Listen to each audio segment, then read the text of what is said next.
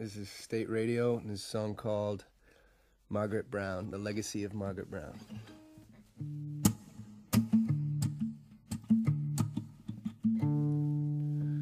Good man, you must be man. Dear man, how many drinks have you had, don't you know? Your family's worried sick over you. Any event, we have no time to spare.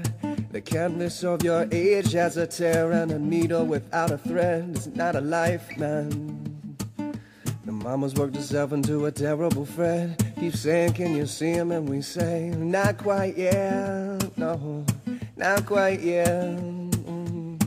Now quiet on the streets, we hear the footsteps echo. Kids run up the stairs and look down from below, but the street light flickers. Mama gets sicker. She says he's going to the place where no one twice goes. So I had to come and arrest you from your place. You see, you got too many promises to keep, and what's more, they be dying of starvation. With all the food on this world, there'll be a famine in this here nation. You know they love you, but they really don't know.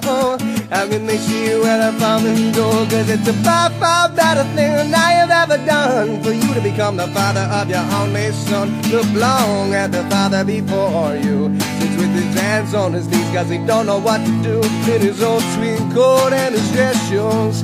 For all brown when the eyes are confused. Tries desperately to explain his subsequent recluse and the remainder of his days. I know we overmind you. How the years go by and a second or two won't be long till your kids are looking at you. Just as you are now, just as you are now.